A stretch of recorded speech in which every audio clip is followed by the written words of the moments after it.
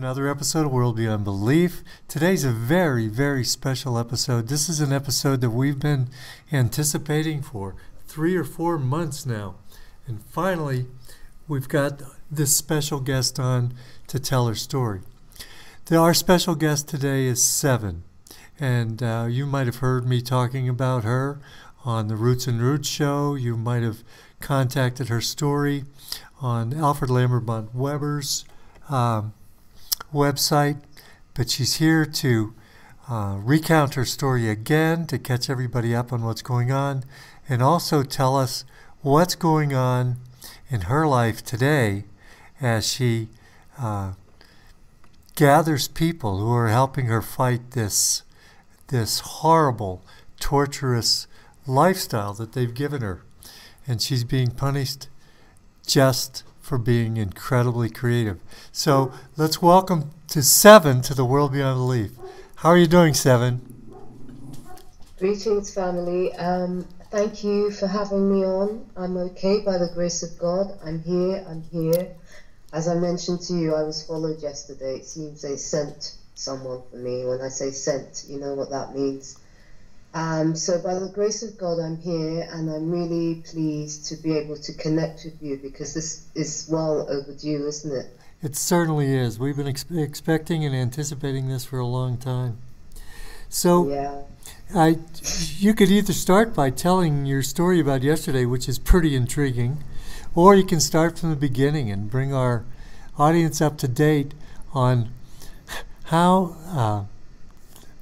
How this control system, this predatory satanic network, has been has actually ruined your life. Mm. Well, um, I will start with yesterday because yesterday illustrates what we live with on a daily basis, and for some people um, out there, this will be the first time like me, when it happened to me, I had no idea this type of thing even happens. For me, it's been 12 years. I've been a targeted, what they call a targeted individual um, since 2003 when I went into a lawyer's in um, West London called Russell's to protect my intellectual property.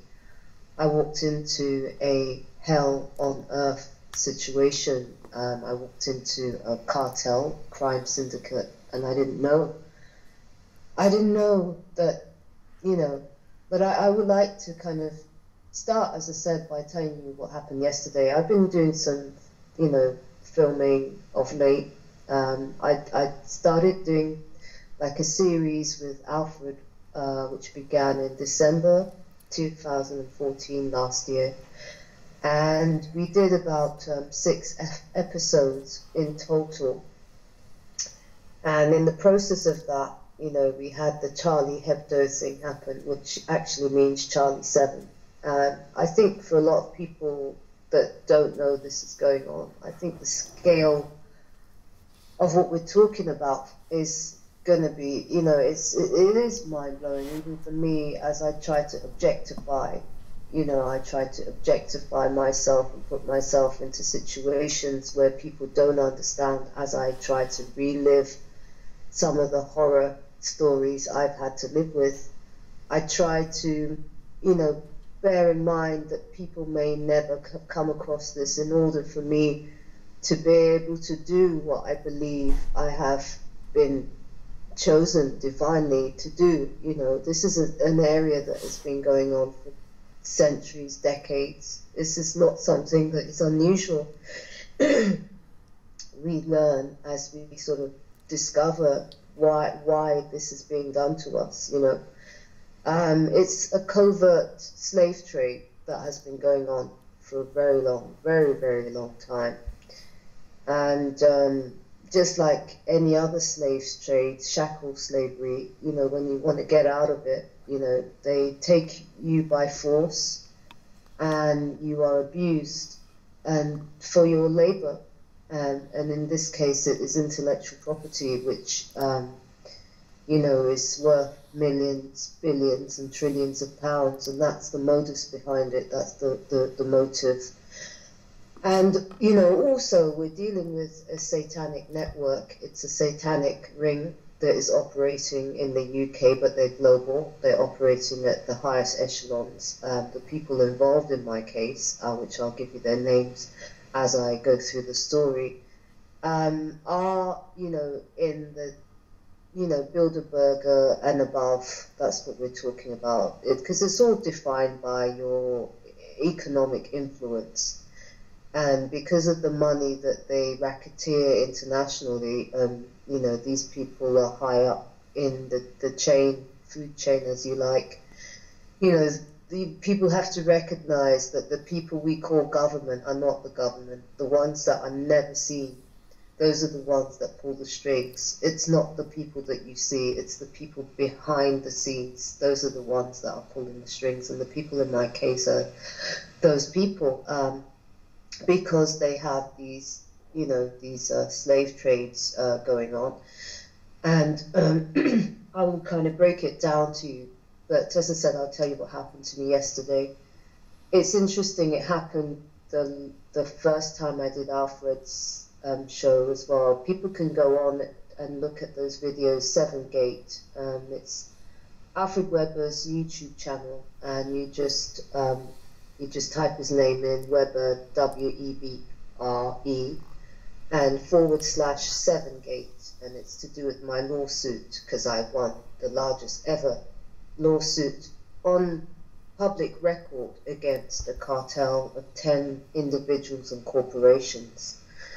Um, yeah, so if you want to um, see documentation, as I tell the story, I actually produce documentation because we are smeared we are made out to be liars and fantasists and all sorts of nasty things why they carry, carry out their evil.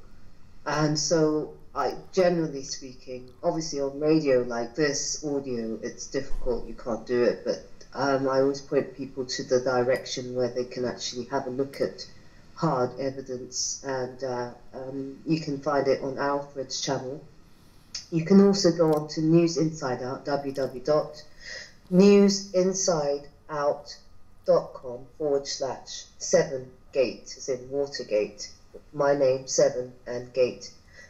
And, you know, you'll find, you know, the latest out soon.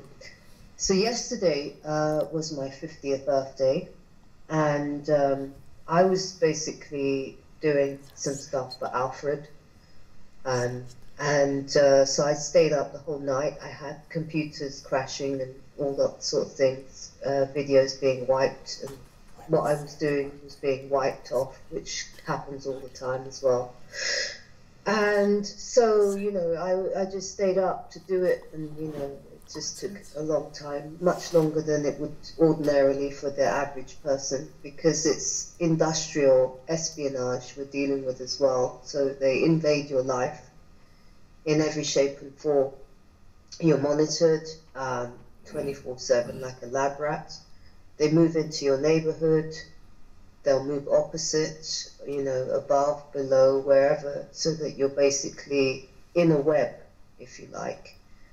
And um, so you're, you're, you're monitored basically, all your devices will be monitored. Um, that's why I say to people if you're writing anything, don't use your iPhone I know that people use their iPhones for writing songs, composing, writing their poetry, and coming up with their ideas. It's so quick and handy to write it into your iPhone or your smartphone, but you've got to recognize the whole industry of IP has is now geared towards theft. It's geared towards stealing great ideas, as Steve Jobs you know, shamelessly put on record. He says we make no bones about we steal ideas, we steal people's work.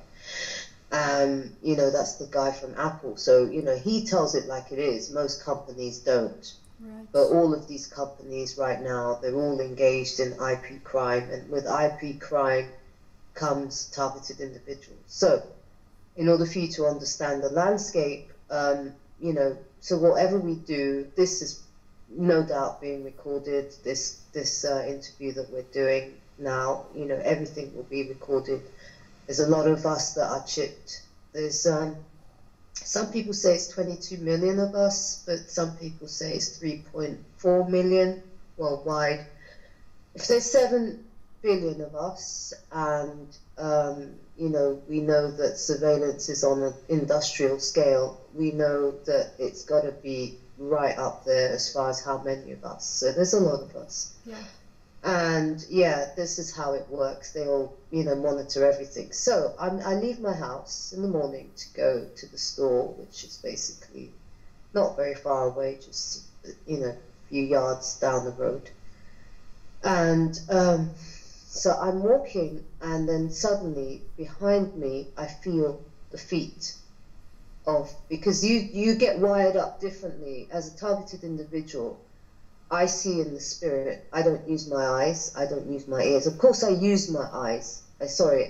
I just have to clarify. I do use my eyes, but when I see people, I have to look into the heart of somebody, to the soul of somebody, their character. Who are they? Because people will surround you, and you don't know what their motives are. You know, they'll smile in your face, but really they're plotting your downfall because mm. there's so your worth your work is so, worth so much money everybody wants a piece. And they everybody is engineering your demise so that you basically never rise and get a penny of your work. And you are forever mocked ridiculed smeared lied about abused you know it's just you know a mock fest if you like.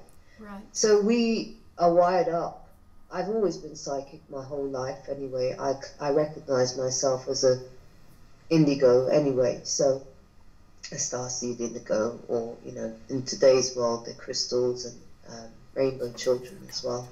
I think most of us are. You know, most of us that are targeted usually are. It's, uh, uh, you know, us who are wired up differently. So I see in the spirit. So you know, this man is behind me. I can feel him and I feel his pace is like you know he strides he's making big strides too. It's about six between six and seven in the morning a.m might have been seven by that time i'm not sure but that's kind of we're talking the am hours not many people on the street. And i just thought i would just literally quickly run across i'd run out of water so i wanted to get some water and a few bits and get some air because i'd been up all night, you know, just walk outside for a minute or two. I don't go out very often, by the way. You know, I don't have a normal life like most people go here and there. I can't use the tube. I can't use London, you know, transport. If I do, it's like emergency that I have to. But generally speaking, I'm driven everywhere. And this place is pretty close, so, you know, it's kind of like a pleasure. It was my birthday. I thought, oh, it's early, I'll go out. Yeah. And so this man, I feel him behind me. I feel his steps. And the spirit said to me, run. So I just suddenly, I just started running. I was on, the, I thought it was the left, I was it my left and right, wrong? Like actually I was on my right hand side, same side as where the house is, and I ran across the road.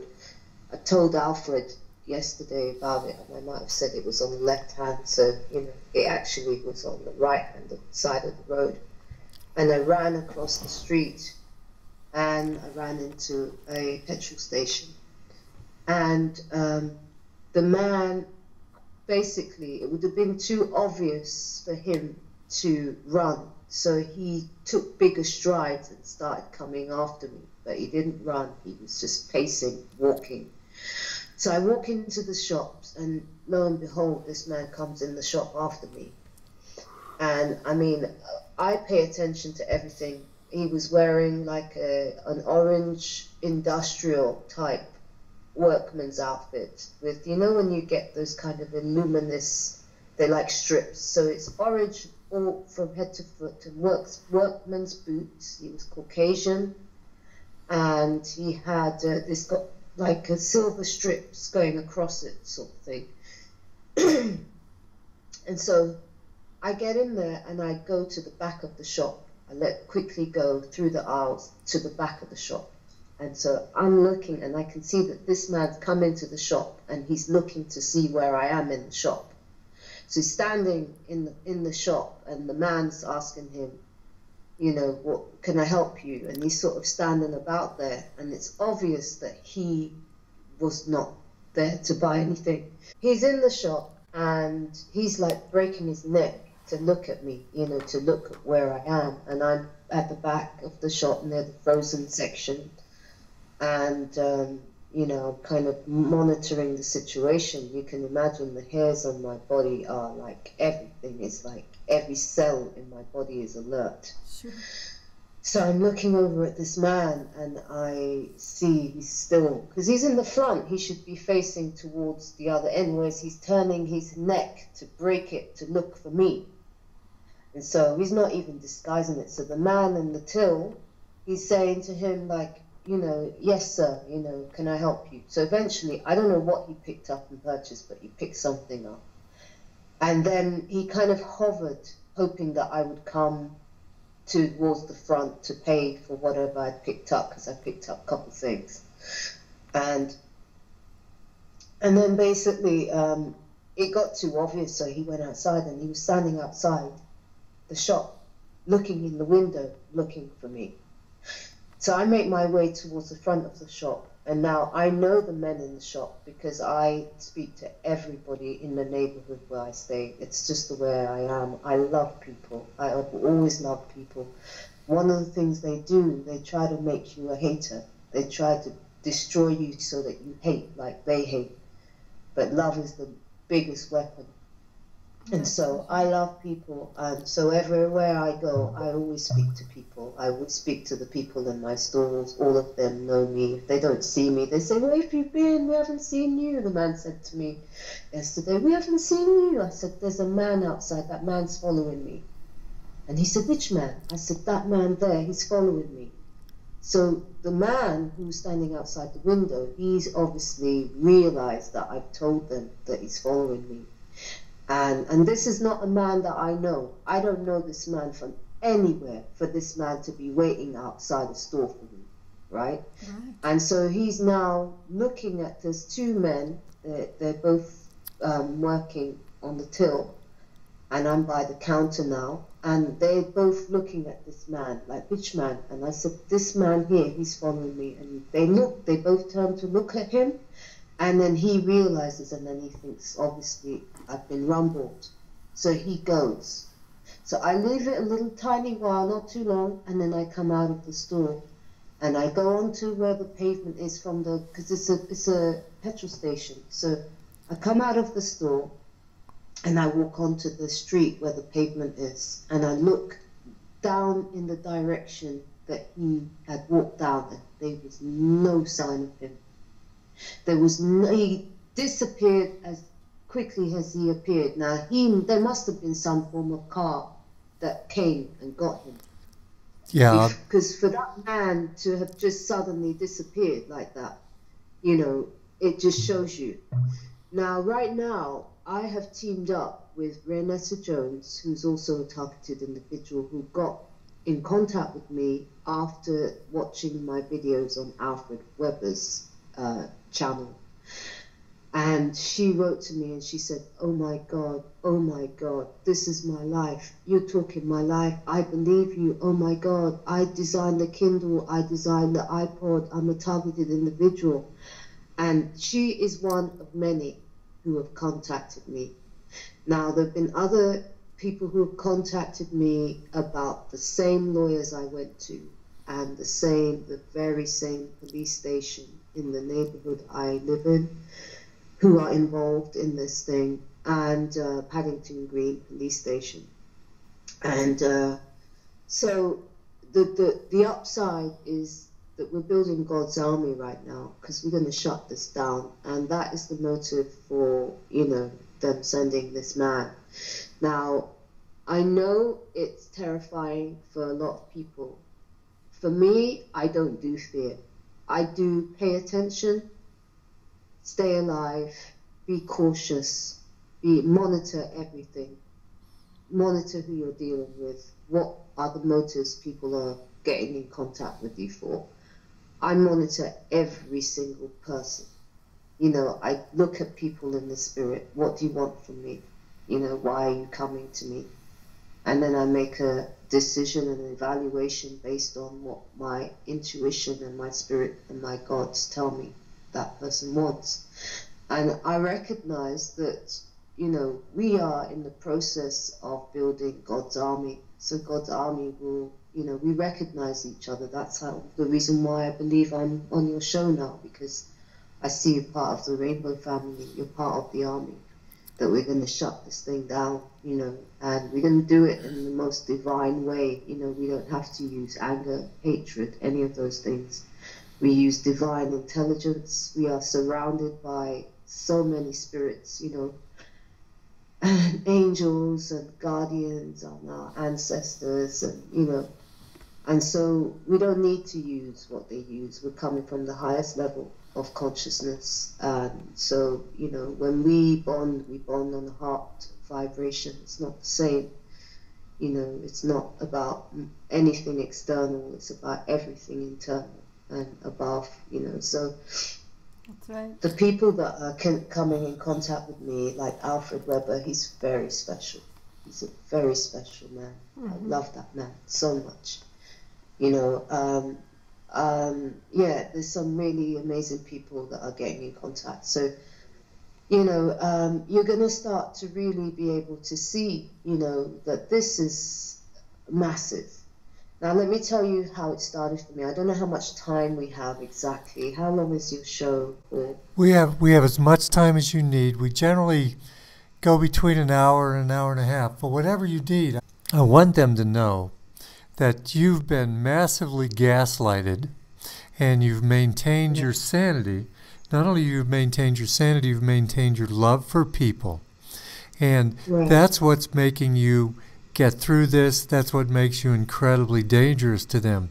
And I will I will attest to what Seven is saying about the coalescence of star people or indigo people coming together, uh, coming together and being targeted. These people who are have strong left and right brains. They're very unique. They're creative, and they're also they think in a regimented way. Uh, the most one of the most amazing things I've ever seen on YouTube was Seven present her case. Now you have to you have to imagine that she's going against the establishment. They don't want to find in her favor no matter what.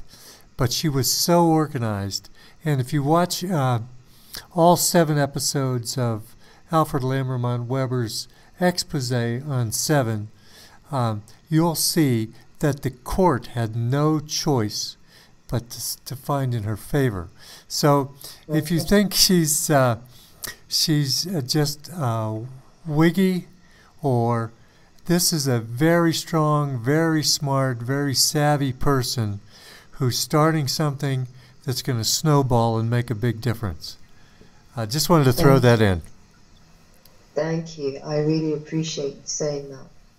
I believe it so. I know it so. I prophesize it so. I speak it into existence. I attest to that 100%, 1 billion percent. Because the time has come, you know, for people to stop it, you know, stop these things. We have to. We are called. Right now, you know, the video you sent me um, about there was a man who came forward who was calling himself concerned and he was saying that 2015 they're planning to do all these things like nuke the place and right. you know fake asteroids and what have you and basically wreak hell and destruction i believe that that is so this is what has been divinely shown to me a long time ago i mean there's there's a spiritual parallel in my story and my experiences that one day I'll, I would like to share just the spiritual journey because there's this the what happened in real time and then there's what happened in the spiritual side of things. I'd be very interested in hearing that. That's a whole other story, you know, that, that is like it's phenomenal and it is a real how can I say it? It's for anybody who has a doubt that God is real, angels are real, that there is a divine source that we are in alignment with, who is helping us, guiding us, that is a living, breathing entity. You know, I, you know, you hear my story, my the story of what happened, uh, what was going on parallel. Because there's stories within the story, if you like. You know, even the way I managed to get my courtroom audios. You know, it's unheard of that people get your courtroom audios. I mean, everything that has happened, the way I won my case, despite, you know, they were trying to assassinate me. And, you know, some of the things that have happened, you know, there's some things like my parents both um, died in suspicious circumstances six months apart last year. Two of my very, very good friends on the same day, on the 17th of May in mm. 2012. And, um, you know, there's been really some really, really low moments. very, very low moments for me, but I believe, you know, I believe that I have been called you know, I've been called to do this. This motivates me.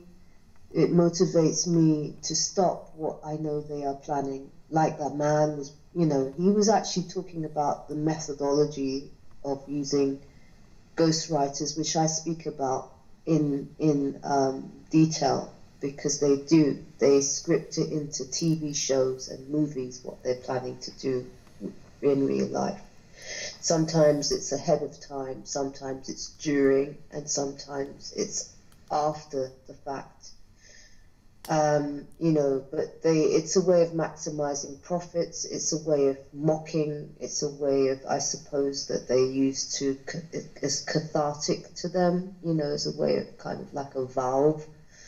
You know, I've heard people say that. I heard Ringo Starr talk about um, in in an article I saw there's this whole thing about Paul McCartney being dead and having been dead since 1966. That's right. And that the Beatles wove in their albums the fact that he was dead and it was not the, the one that is there is not the real one. Now, I know there are people that believe it's true, and I know there's people that disbelieve it. And, you know, um, I'm not talking about either one of those sides. What I'm talking about is the fact that they embed into their music, onto their album sleeves, coded messages, because this is what they do, subliminal messages. They used to do it like in the, in the records. They, if you play the record backwards, you know, you get like the message and, you know, people, it became a whole movement in the 60s, I believe. But anyway, one of the things that Ringo Starr recently said, because he came out recently about maybe four months ago, five months ago, and said that it was all true. And basically, he was saying it was a way to relieve guilt. So they used to embed the truth so that the fans would know that Paul was really dead and the person that we think is Paul McCartney is actually somebody called Billy Shears who was a lookalike who got plastic surgery or whatever. Anyway, that's a whole nother story which goes into CIA and how they do these things. You know, they put other people there. And it's a mess. It's a hot mess. It is. You know, how they play with people's lives like we are toys. It's a mess. It's so wicked. It's so evil, evil, evil to the core. And the fact that they laugh about it they laugh and they mock us like it's a joke. And so, yeah, you know, I wanted to just put that there. But anyway, it started for me with I was a musician from start. I, I started off my life as a musician from the age of about five. There used to be a like a guitar, like a Spanish type classical looking guitar, which had like two strings left on it. sitting in our hallway and it was leaned up against the wall. And every time I went to school in the morning, I would see this guitar and I would kind of stare at it it? It used to puzzle me. You know, I'd come home and it was still by the wall. It was a mystery to me. So I, after a while, I thought, nobody wants this. You know, I realized it's just sitting here collecting dust. So I basically put it, picked it up, brought it to my bedroom um, I was the only daughter with two older brothers, and um, yeah, so one of my brothers had brought it into the house, and uh, I brought it to my bedroom. But just a little bit about me. Um, I'm actually the seventh child, although there was only three of us. Um, after my second brother was born, my mother had four children that died in, you know, like stillborn or Yeah. miscarriage. Yeah, they, well, they were stillborn. They weren't miscarriages, but yeah, she. They, this was a big story in our family. It was a big story. So I was actually the seventh child, even though there was only three of us. And so um, I had older brothers. My brothers, my mother used to, you know, it's very traditional for us. Either I had my aunts, because they're all seamstresses, like geniuses, you know, my aunts could look at somebody walking down the street and you would say, I like that dress, and my aunts could just draw it with no pattern and make it like straight away, you know. Amazing. Anyway, they used, they used to make my dresses, and they used to kind of be like Little House on the Prairie, kind of Quaker like dresses, long down to the ground with a bonnet and a frilly neck neck thing with a big bow. Because I was the only girl, and I was kind of like, you know, I I couldn't stand it. I was like, oh my gosh. So then, other than that, I had my brother's hand me downs you know, when they got too small, my mother would pass them on to me. And so I used to stitch them. And I used to make my, you know, own outfits because of the fact that I had these two options. You know, sometimes Yeah. I would go out, they would take us out to the, you know, for specials. You know, we went to church every Sunday and my mother sang in the choir. And so, you know, we're a typical Caribbean family in that respect you know, um, I grew up in the 70s and uh, I was born in 1965. I was 50 yesterday. Happy birthday, by the way. You know, yeah, thank you. Thank you so much, Billy. That's really Yeah. sweet of you. Um, but yeah, so I, you know, I'm just trying to paint a landscape of my life. Um, yeah, so we were a very creative community where we lived. There was a lot of black families or Caribbean, Afro-Caribbean families. And you know everybody danced everybody played an instrument you know everybody wrote songs you know. And uh, you know we danced we were kind of creative we all drew you know. It was that like that where we came from where i came from. And my brother was exceptional. He was definitely an indigo of some stature Mm-hmm. he was definitely an indigo of some stature. So um, yeah, he um, he could draw, he could write, he was super intelligent. But the most amazing thing about my brother is that he was a beautiful soul. He was the most humble. Yeah, my brother. Um, yeah, he was very humble, very very humble. He never spoke badly about anybody even when he had cause to, he never did. He studied every sort of ology you could think of, every everything, you know. And I used to, I used to be like, wow, you know, um, you know. I used to test him. He was into etymology.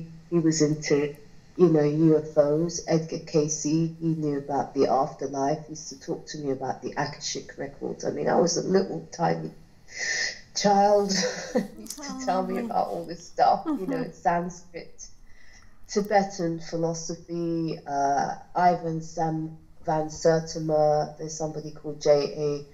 Rogers, which wrote a really amazing set of books called Nature No. Well, actually, one of the books was called Nature Knows No Color Line, and that was about the history of us as a people. You know, the great achievements that we did as a people. And uh, we had a massive library of books. My mother had um, uncles that were a professor, so her father's brothers were professors. And so there was there was a lot of academics in my family actually, a lot of um, extremely learned people, um, and very you know kind of inventive people. You know, it's actually very common in the in the Car- Afro-Caribbean, African American communities. Innovation is very common because if you consider the advent of slavery, we had to become resourceful because we didn't have as a people. So you got people that are very skilled because they made their own clothes. They had to make everything from scratch, from nothing. And so the only difference is um, in the 1700s, we weren't allowed to own our own paintings. You know, they went to slave masters. It's only in the 1800s that um, eventually, uh, you know, we as a people were recognized for, um, you know, were, were allowed to have paintings. So traditionally speaking, even though it's not spoken about, you know, as far as community is concerned, we are a people that are just as much as we love to make music and dance, and we're well known for sports and being fast runners and what have you. We are inventors, and it's removed from the records and the history books because of the money associated with it. You know, so this is why they often give our identity to somebody else, and you know, our patent, our patents to somebody else because we are considered to be a slave race of people, you know, and we're not. You know, we are just as divine as everybody else. of course, if not more so. Which, which maybe is the reason why, you, you know, your people have been so targeted because of that divine connection. I've always wondered about that. Well, I think, um, you know, I, I think a lot of it is sometimes, I mean, if you look at my case on a micro level, we examine what's happened to me on a micro level, and then you look at what has happened to my race of people on a macro level, you'll see it's actually identical. What they do, first of all, they steal. And then after they steal, they try to destroy you in order to erase you so that they won't be caught right? So there's a whole method in order to eliminate you from the records. So they remove you from the records. Like there was scrubbing operations for, for years, you know, like when I was in hiding, I had people that were writing about my circumstances. And there were operations to remove anything written about me from the internet. Everything, anything.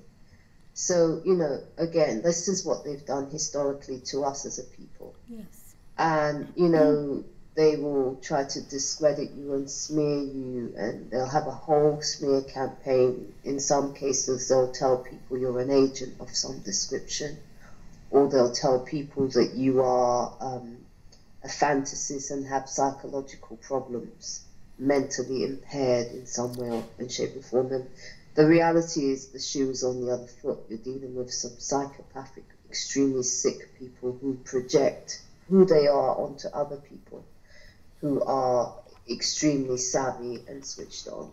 The difficulty they have with me is that I brought my case through the judiciary. Um, most cases don't get as far as mine, and that's why there is a divine thread running through my case in a way that is visible. You know, it's just as visible as the nightmare itself. You know, I keep saying I'm going to tell the story, tell the story, but I just wanted to give you a little bit of hmm. background of me. Well, you painted so started, a beautiful picture of your family. Yeah, and I think it's an it's an important background. What you're finding out is that that's what's this is what's happening. I think the people that are attracted to you, I, although I I only know about Renetta, uh, they're also uh, women of color.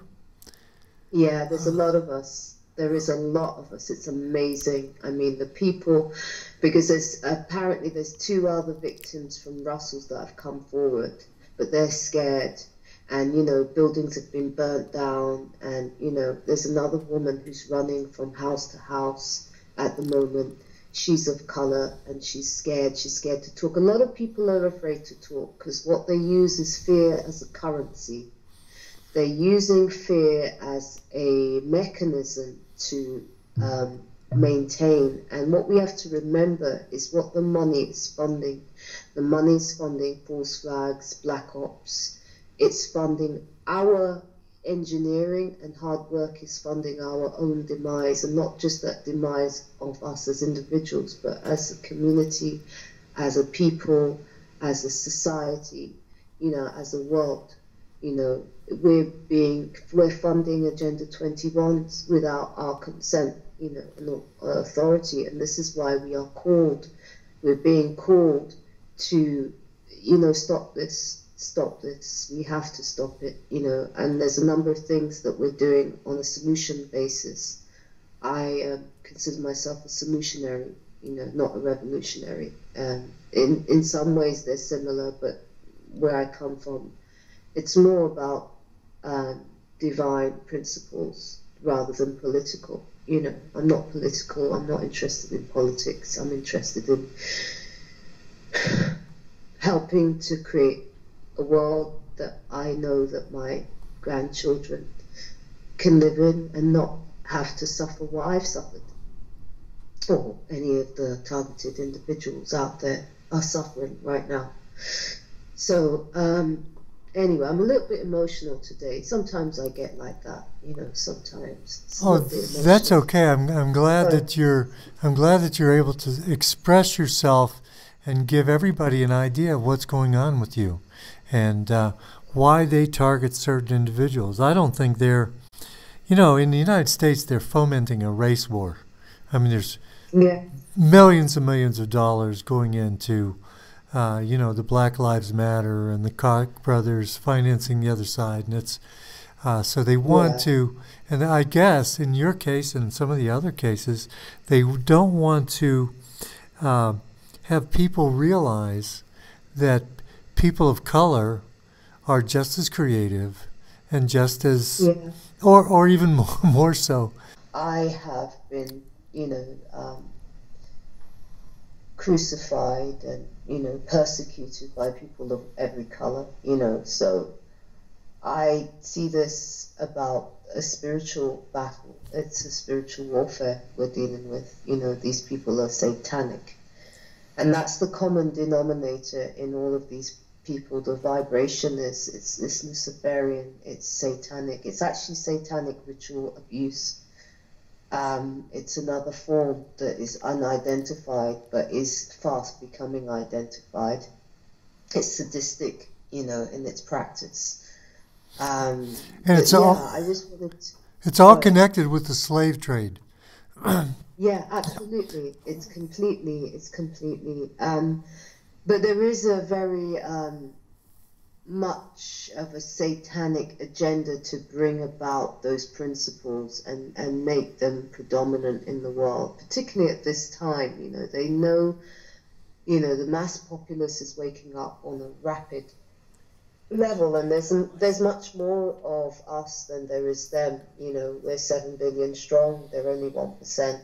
The only thing is, is that they've stolen the world's wealth. So you know, that's what they have to the advantage of everybody else, but we have the strongest power that there is, and that is the power of the most mighty God, you know, and power of the divine. We have that uh, to our um, advantage, and we have the power of the law.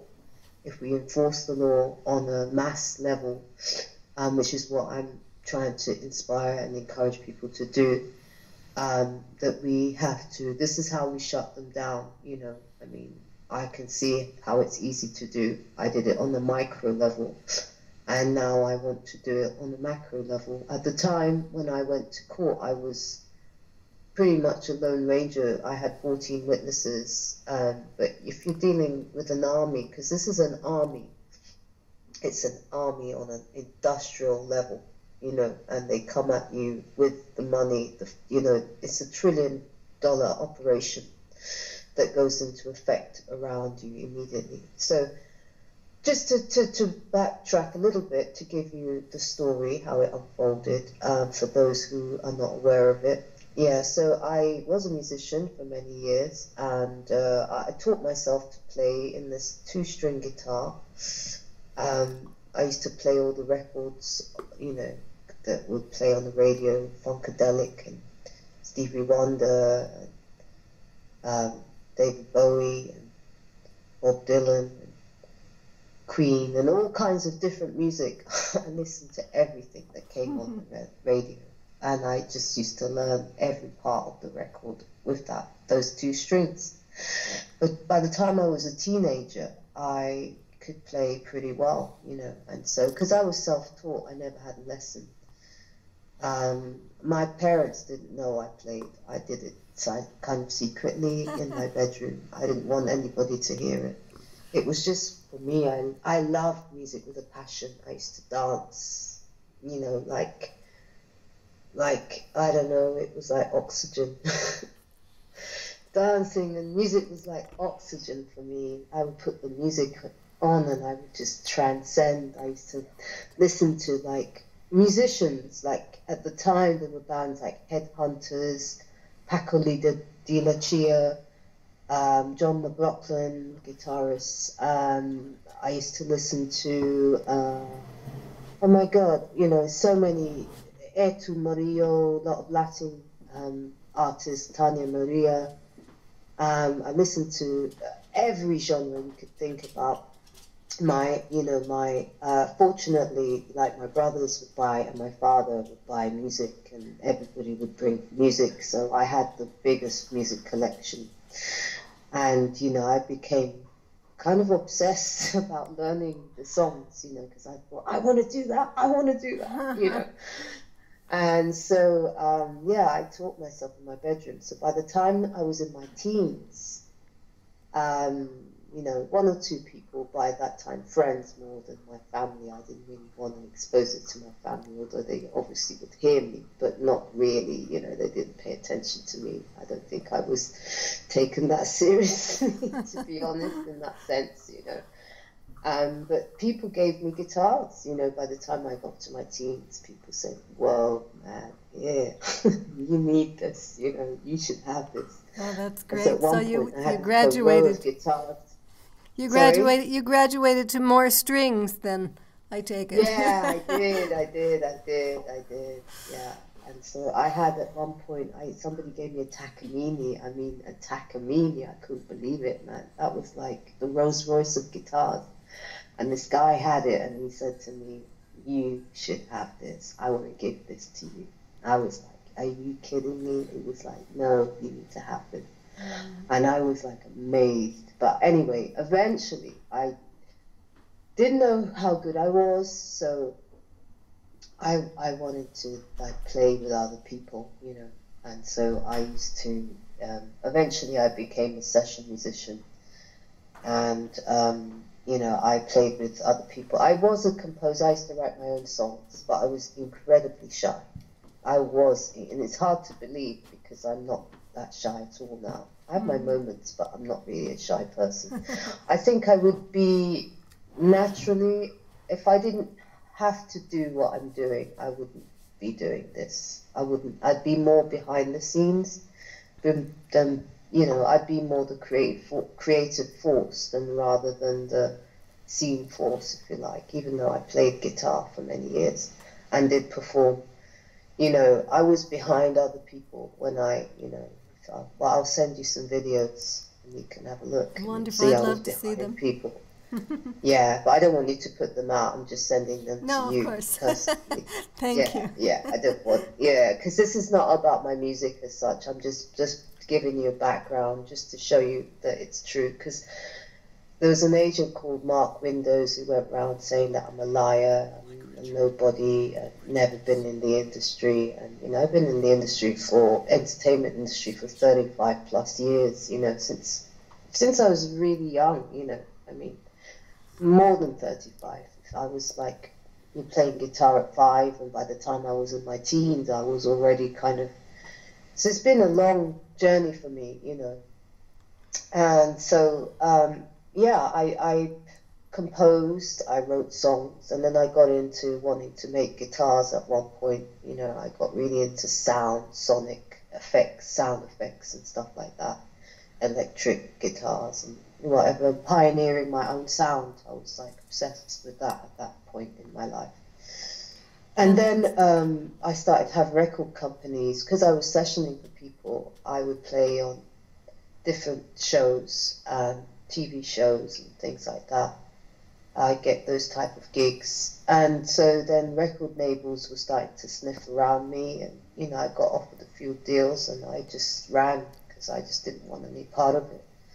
I was also a mother, you know, I had two young children at the time, and my concern was them. You know, my concern was to make sure that they didn't have, you know, drugs and that kind of lifestyle. I was very holistic. You know, I was always into health food. I'm a Virgo, as anybody who knows about astrology. It was my birthday yesterday, as I said. I'm a Virgo, so we're quite into Mother Earth as as a species. You know, I'm very true to my sign in that sense. You know, I like food, I like health, I like those things. Right. Um, those things are important to me, and so you know, my my children were my primary concern. So I didn't want to have a record deal. That was just what it was. I did get offered. Most of the time, we didn't have that much money. You know, uh, my raising my children, I wasn't you know flush with money, and I was offered money, and I turned it aside because I didn't want it. I thought what I want to do is I want to develop my own thing, have my own company, with my own people involved and my own network and you know production company and that sort of thing. Anyway, cut a long story short, my brother died in 1992, which came as a bombshell to me. He was somebody that was, I just, I always thought he's going to be known one day as this great, great, great man. You know, he will be known not because he wants to be famous, just because he's a giant. You know, he really was. You know, as a spirit, I'm sure in the spirit world he's a giant. You know, because he really was. He was huge. He was only 30 when he died. So if you consider the things he was teaching me when I was really young, he was really young. I didn't know he was young. He was my older brother. You know what I mean? He was yeah. big to me.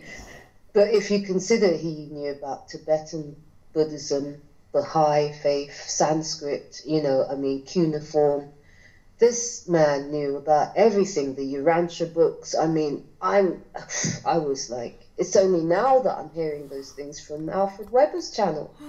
you know, since my brother died, I've not heard anybody talk about these things. Kirlian photography, you know, we were into all that stuff. And we were really young. It was all normal in my life.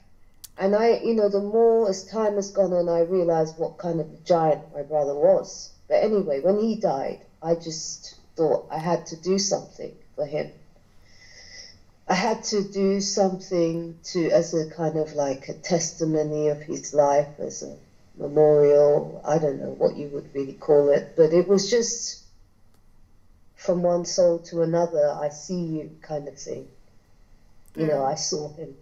So he sounds like a very beautiful soul. How did he die, uh, Seven? He, how did he a lot of very amazing people like him are kind of between worlds, as, as, it were. That's why I had this telepathic relationship with him, I think, maybe. He was super psychic, super telepathic, this man, young man. And he died of a heart attack, but I think hmm. it was because of the medication the hospital were giving him. I think they were experimenting with it on him Mm. You know, there were a lot of doctors who loved him, and they loved him, you know, um, as much as I did. Maybe not as much, but, you know, they, they really appreciated because he was super brainy, you know. And he was super humble. He wasn't like, I'm so great. He didn't never go around like that. Never, never, never, never, never. You know, he'd be the quietest one in the room. He'd be the person standing at the back in the party he never danced. You know, he was he just wasn't that kind of person. I'd be in the middle, like dancing like I was going to die tomorrow. You yeah. know what I mean? you know, but he'd be in the back and he'd be like quiet. But then when he spoke to him, you'd be like, "Whoa, that's deep." in seconds, right. he'd just take you there. You know what I mean? Yeah. And so, um, yeah, so he died. I think he died. This is my assessment. I think that he was probably being experimented on with medications, and I think that's what caused complications and make him die. People don't die at the age of 30. No, not from you heart attack. I mean, yeah, no, they yeah. don't. No, they don't. And he was being given all sorts of drugs to take, uh, pills to take, because, you know, he wasn't a well child, you know, but it was like I was doing yoga at the time. My best friend who is um, she studied in India um, to teach yoga. She's half English, her mother's English, and her father was Indian. And so she was a yoga teacher and a teacher of Indian dance, Bharatanatyam. And, um, you know, she said, we, we together, we said, okay, we're going to build a system for him, you know, respiratory system, system, holistic system to make sure that he was better. And we said, you've got to commit to it. You've got to do the system. And the week before he died, he said, I promise you, I'll come. And he was supposed to come on the Monday, but he died. So, anyway, what happened was, um, when he eventually died, as I said, I was like, oh my God. So I put music aside and I set about creating something for health and fitness, a multimedia platform. So I went to all the doctors and the hospitals that he used to attend and I said, Can I do research? And they said, Yeah. They were very nice to me, and so I went to different hospitals. I did have people have people in the neighborhood where I lived. Um, there was like a couple of people, a few people that I used to look after as well. There was um, a stroke patient, a lady who had had a stroke. I used to go there and cook for her, and you know, talk to her, and you know, take care of her. And there was another lady who had um, who lived downstairs who had uh, cancer and she had a stroke as well. And I used to take her out everywhere. She was uh, late 60s, early 70s. And she was like my friend, really. And um, people used to say to me, "Are you are you a outreach worker?" I said, "No." they say, "Oh, I didn't get paid. I didn't, you know, nobody paid me. I just did this because I was compiling, like, you know, research. How do I help people who are sick, you know, Yeah. so that they don't die like my brother died?" And so I did a lot of first-hand research, you know, and made friends with people, you know, that were older than me and people thought it was strange that I would be out with these um, pensioners and what have you, but they were my friends, you know. Mhm. And anyway, um, they became my friends. I used to do their hair, get the hair all swanked up, you dye the hair, make them look popping, you know. That's great. and yeah, so, you know, just give them their youth, give them their life back, you know, sometimes when people are um, immobilized and they can't go out, you know, they don't have little things, you know, make them smile, you know, little things like having their hair done or, you know, doing something nice, getting some nice clothes for them, you know, little things Yeah. like that. So I used to do things like that. Anyway, eventually I did a lot of research into the whys and wherefores and how to help people who are in that situation on a mainstream entertainment level.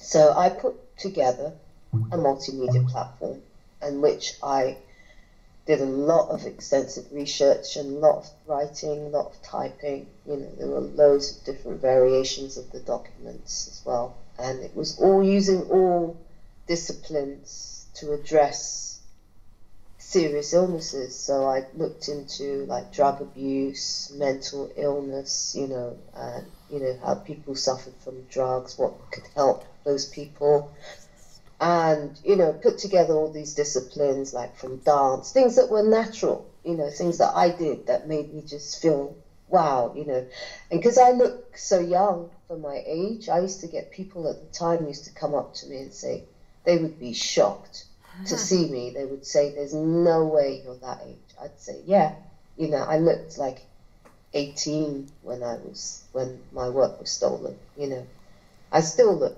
pretty young. You know, it's just genetics. My mother was 72 and she had a boyfriend of 40 something. So genetically, we all look like spookishly young for our age. And in fact, in one of my shows that's stolen, if you go on to the show, um, it's called uh, 10 Years Younger.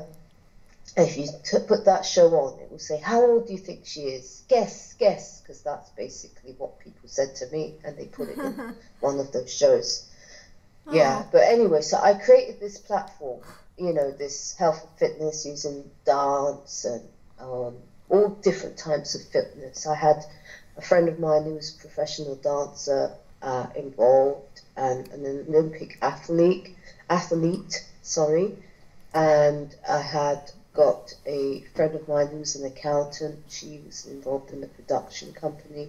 Then I had Lisa Parne, she's from Sweden, very good friend of mine. She was involved in the legal side, and she attended the meetings where the documents got stolen with me. Oh. Yeah, so um, you know, eventually, I once I put this thing together, I realized I'd done, you know, something that was special. I knew it. You know, I just, you know, like I always say this, like if you were somebody who wrote a hit song, I've heard a lot of people who've written hit songs say they knew it was going to be a hit. They just knew it because it's something that happens to you. It's like a divine thing and you know I knew God was in it. There was so much love in it. I knew it would resonate with people. Right. So my instincts was to protect it. So I called up the Law Society and I said, look, um, you know, I need a lawyer. I want to um, protect my work and, you know, I need a lawyer. So basically, they gave me one on the basis of, uh, how do you say, jurisdiction in other words, the closest lawyer to where I live in central London. I see. And right, so um, the other thing I did was I investigated TV schedules. You know, I looked into whether there'd ever been anything produced like I had done in. You know, that was that's an obvious thing if you do due diligence. Anybody who knows anything about a Virgo, we're very detailed. We we pay attention to detail you know. Um, so I did a lot of research, and um, that's where they shot themselves in the foot because they don't know that you've got that much detail, and I think they just thought I was really young. You know, they didn't realize that I was already a mother, and I was at that time 38 years old by the time I went to the meetings.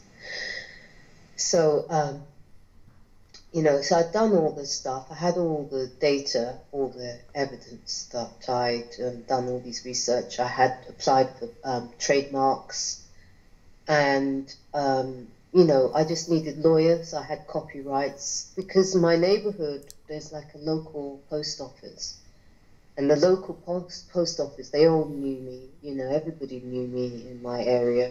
They still do. Um, they've closed a lot of the shops down because that's what they do in order to remove evidence. They use guerrilla tactics.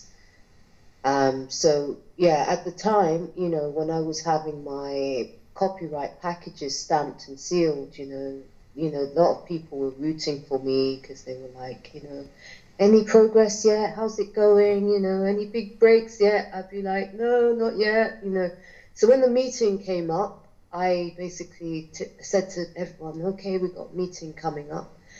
And, you know, I wasn't, you know, this guy basically, after I went, well, let me start with this. I'm kind of jumping, and I really want to give you a flavor of how it kind of kicked off. Okay. Thanks. Yeah, so um, at the same time, I also, I should say this, I also wrote a book. So while I was writing these documents for my brother, I had this friend of mine who I told you about, Christine Agnew. Her Indian name is Chandini, but um, right. she she uh, she was working in the shoe shop in the Edgware Road, which is a street very close to. It's quite a famous street in London, and um, she worked in the shoe shop, and then she gave her job up to go to um, the, what she called the walk, what ended up being called the walk, which was all across America, um, sorry, Australia. Sydney, Melbourne, um, you know, all the different, Ad- uh, is it Adelaide or something like that? I can't remember all the proper correct pronunciations. But anyway, she went to all these different parts of um, Australia and she met a man who used to be in the advertising industry. And he, because of the corruption in the advertising industry, he gave up everything material to go on this walk. And then she basically went on this walk with him. And when she came back some years later and told me the story, it was so incredible that I just had to write the story. So So this is post my brother dying, you know, she was the one I told you was going to help my brother. Then my brother died. Then years later, she went on the walk and then came back, and then basically, or um, was it years later? Or was it before? I'm trying to remember the sequence of events now. Um, I'm not sure the sequence because I'm just going from you know what I can remember now. But I have everything documented, everything. I have all the letters from when she wrote when she was on the walk. Anyway, she told me the story at the time, and I put this together as a story. Um, and uh, yeah, so at the same time, I was working on this multimedia platform, and this is the kind of uh, birth of the internet time at that time because the internet came to us in the UK around 95. So, um, you know, that inspired me to use health and fitness and the internet and it be interactive and what have you for people to be able to get health and fitness while, um, advice while they're in the comfort of their own home because with some of the people like Margaret that I looked after, they were incapacitated unless you took them out, they, they didn't go out, you know. So I wanted to bring something on TV that would just inspire everybody to want to get fit, you know. And there's nothing like dance, you know, you put music on and it just raises your vibration, your frequency, and it just is so wonderful, you know, it's exciting. So I wanted to do some of the things that I did for myself and share it with the world via a, a, a platform kind of thing. Anyway, like I said, um, I went to these lawyers. It was I went to the law society. They gave me the name of the law firm Russells, um, and I called them up, and they made an appointment for me to go to see them. And the man at the time was Christopher Gossage, who was 26 years old, and I had no idea that I walked into a mafia crime syndicate. Mm. And, um, you know, I got into the meeting, and the first thing I did is I got him to sign a confidentiality. And he had said to me at the time, you know, I'm, I'm a lawyer, there's, you know, we have automatic confidentiality. I said, sure, but sign this anyway. I'm not going to show you anything until you sign that. So I made him sign for, because, you know, I had loads of different versions and different, you know, um, sort of uh, derivatives, if you like. And um, so I, I, I, I, made him sign to say that he'd seen derivatives, you know what I mean? Two different um, uh, contracts that he signed.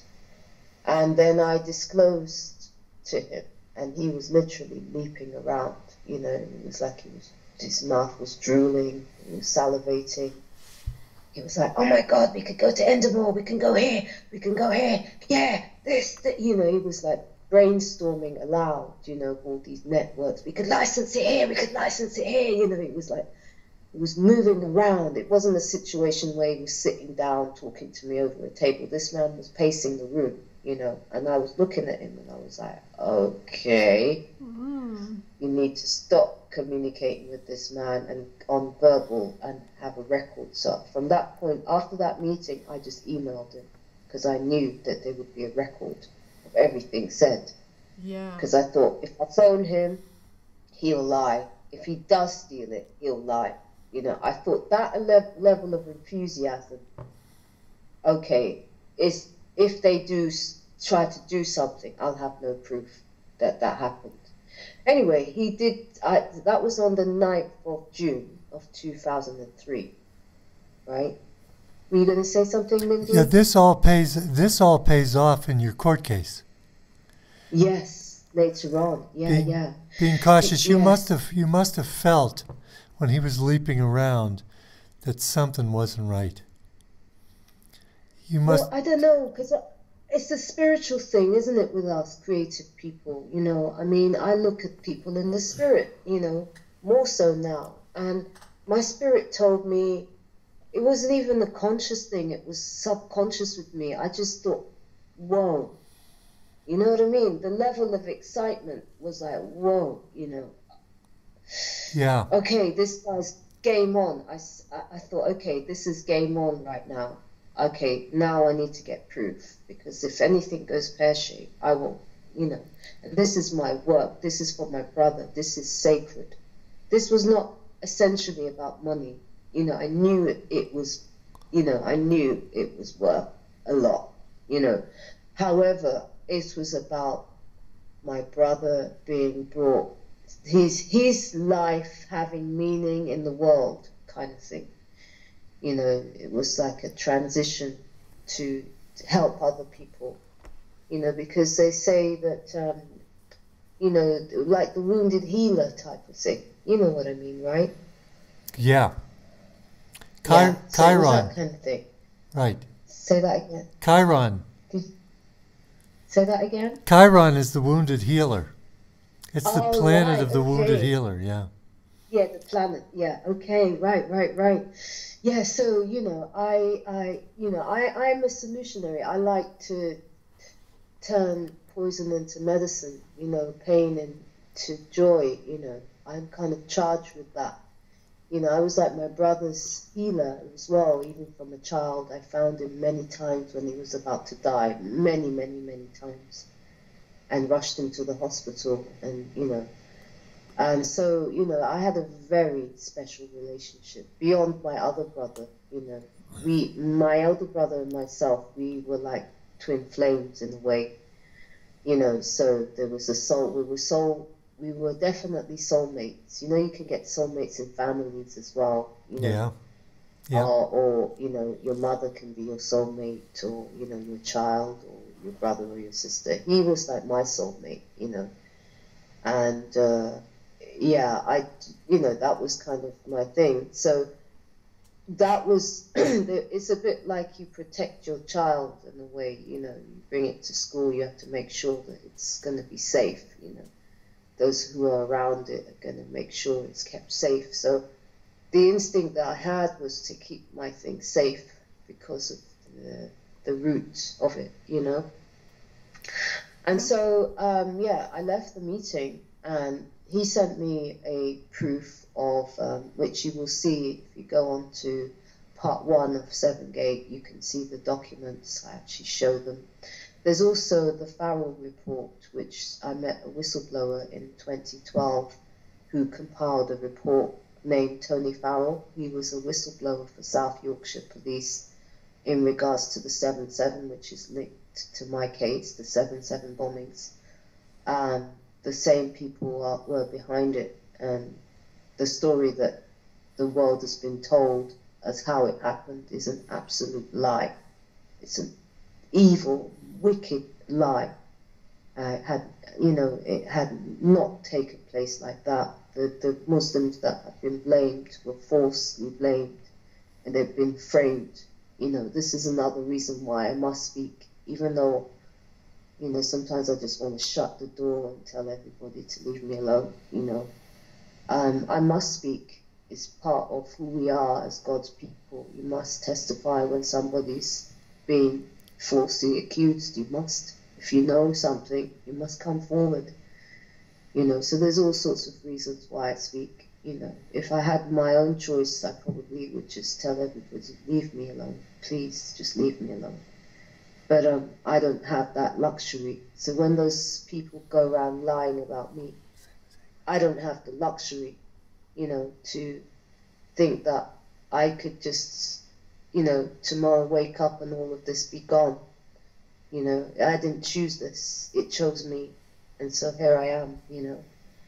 Anyway, um, uh, yeah, I, I get the, I start to communicate via emails and um, um, yeah, so I communicate via email, and then um, he, he, sends me a letter dated the 9th of June 2003, which everybody can go on and see. But he's now already starting to sell my work by this stage, and he's basically in the process of when I say he, I mean Christopher Gossage and the Tony English, who is the people in the law firm of Russell's.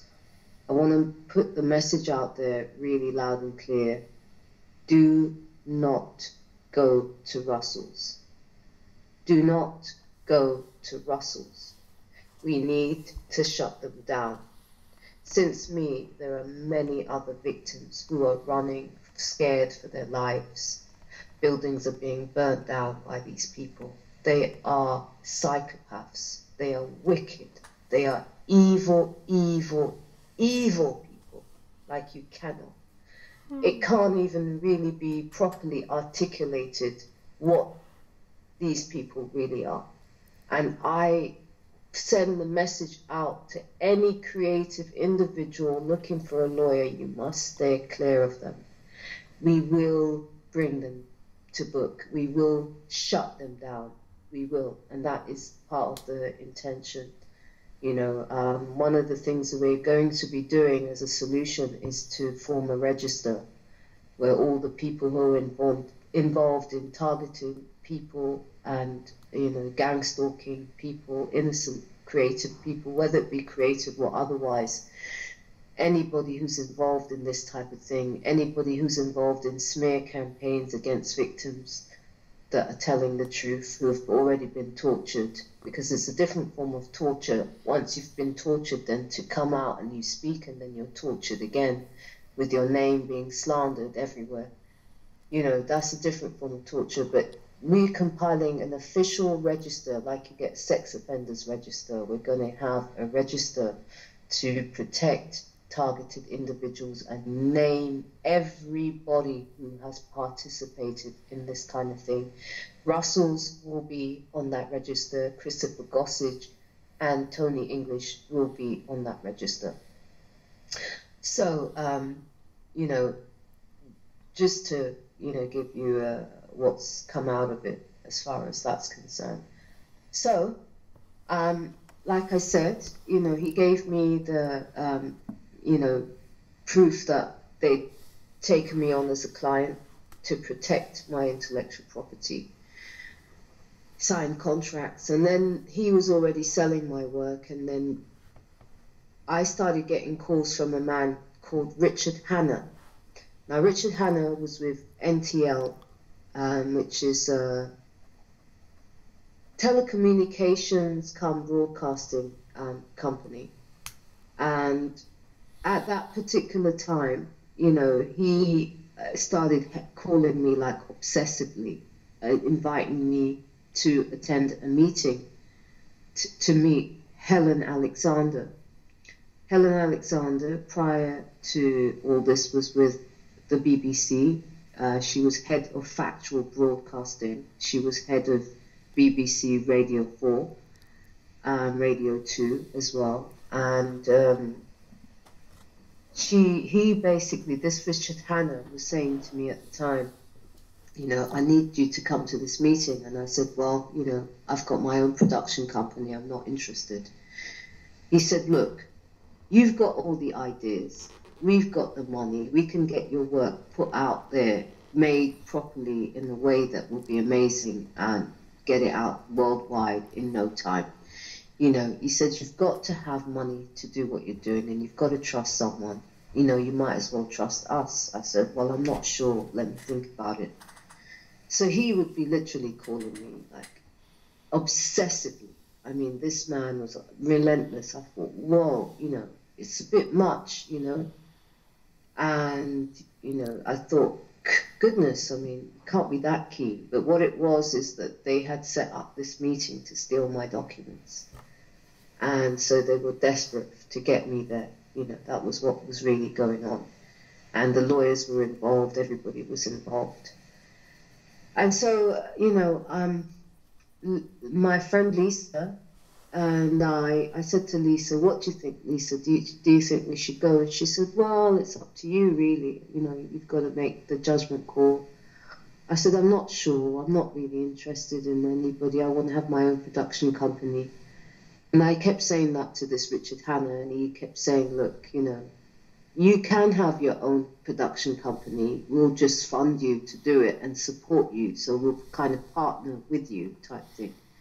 So I said to Lisa, they just want to partner. What do you reckon? You know, and she said, oh, well, maybe we should go, you know. So we made the decision to go. I had contracts given to me by the lawyers which were anybody, you know, the you know when I get to the meeting, they had these contracts had to be signed. I had copy proof that I was the copyright owner. Again, if anybody wants to see those documents, you can go on to Alfred Webre's um, series with me, and you'll see them. You should also see them on um, Tony Farrell's. Uh, they're probably on Tony Farrell's report. There's an appendices and there's some witness statements and documentation from the court case. You can actually see skeleton arguments, affidavits, sealed affidavits, and the actual claim itself. And uh, yeah, some some of my shows because there's, I mean, there's I, a list as long as my arm. You know, it's massive. Um, how much shows there is, I don't know. In entirety, there, you know, we thought it was 126 countries, but it's actually a lot more. Anyway, um, what happened then was, um, funny enough, I have a friend who lives in in Hamburg, Germany. She's like my sister as well, and she came over like suddenly, like the night before the meeting. She actually had a, a meeting, well, not a meeting. She was supposed to meet a boyfriend in London. She came over, and he didn't turn up to the airport to pick her up. So she called me crying at the airport, and she said, "Oh my God, he's late," you know. Da, da, da, da. Anyway, she, the whole thing went pear shaped. She came to London for this guy, and then you know he basically didn't follow through and she was heartbroken and so she she came to me and so the night before the meeting I had this situation to deal with where my friend was suicidal. She literally was suicidal. It was really bad. So all night I was up with her. I hadn't slept. But you know when I think about it now and I look back in hindsight I think it was an angel. She was like she came to stop me from going to that meeting. And I didn't. I was like, even though I was tired, because I gave my word that I was going to go.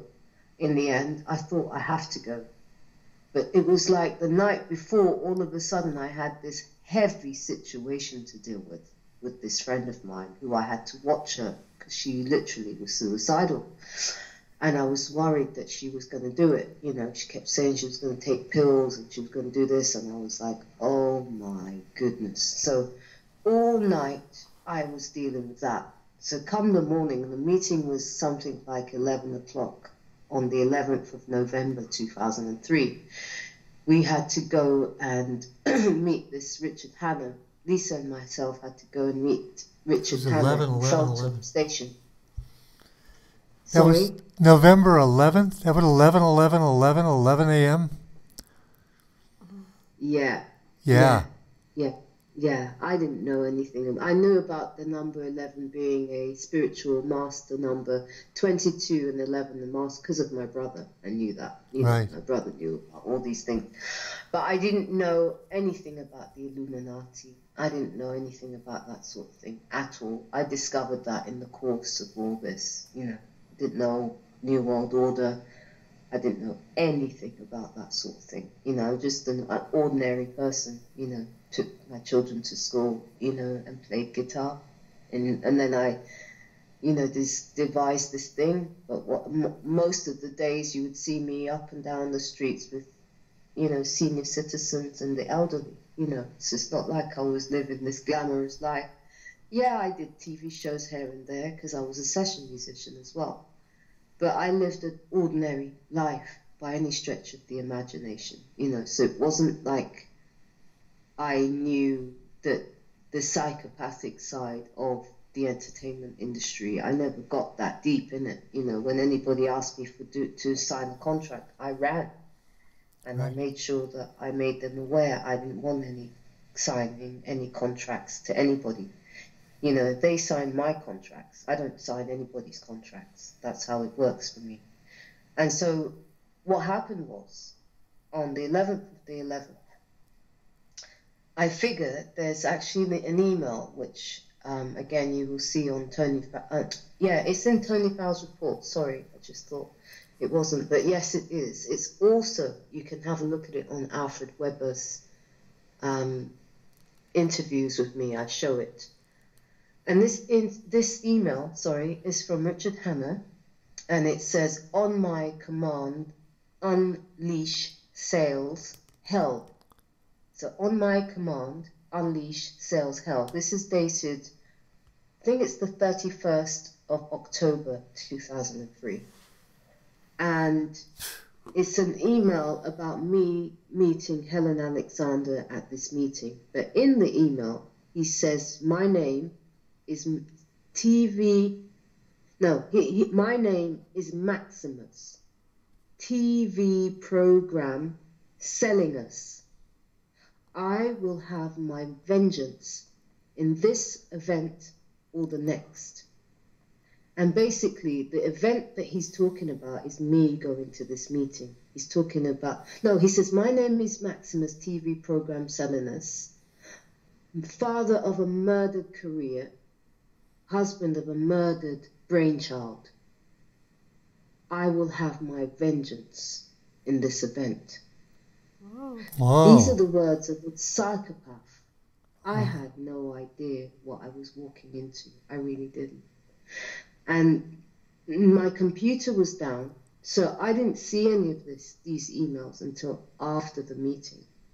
I didn't see any of it. I just, I just um, saw, um, you know, I, he was phoning me. He told me where to get to, Lisa and I to get to um, the station. But he sent me a picture to show me what he looks like, so that we would recognize him, and it wasn't him.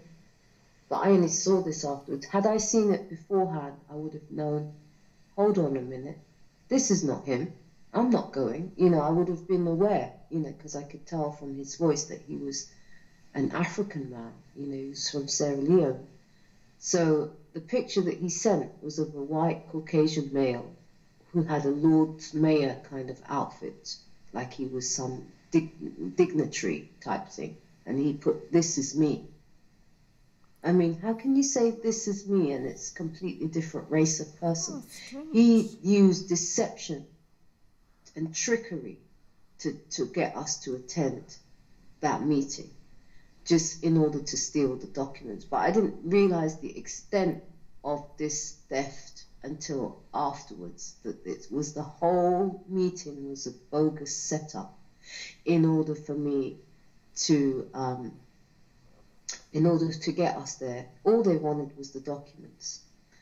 But because I, you know, I'm quite pedantic, you know, I fortunately made them sign, you know, before I opened my mouth, I made people sign to my terms and conditions that, you know, that they were not to plagiarize them, they were to respect that I was the copyright owner, and um, you know that in no way should they be replicated, my work be replicated or copied or in any stretch of the imagination by not just him, but everybody that he's associated with.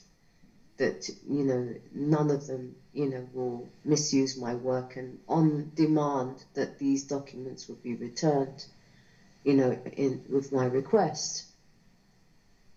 So anyway. Um, yeah, as I said, yeah, we did meet him. I didn't see any of these emails, um, but these were the contracts that when I we arrived there, we got them to sign. You know, we got them signed, and um, when I got to the place, it was called NTL Facilities at the time, and it was an empty place. It was massive. It was like broadcasting facilities with satellite. Um, capabilities, lots of different broadcasting suites, consoles, you know, studios, office seats for, you know, rows and rows and rows and rows of chairs and tables with the plastic still on them. And I was like, what is this? What's going on here? And basically, they had loaned the money from the Japanese to build what was to be biggest ever broadcasting facilities in the UK. And they hoped to, by building these huge facilities, and people can Google this, you'll find it, or internet search. I have to stop saying Google things. Yeah. You can search this. um, are you still there? Yeah, we're still. Well, I'm. Uh, I'm waiting for them to offer you a contract.